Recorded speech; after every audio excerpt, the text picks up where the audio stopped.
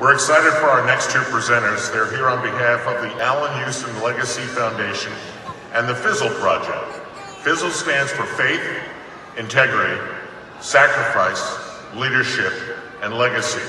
And they have made an amazing $5,000 scholarship donation tonight. So please give a huge ovation to New York rap superstars Remy Ma and Papoose,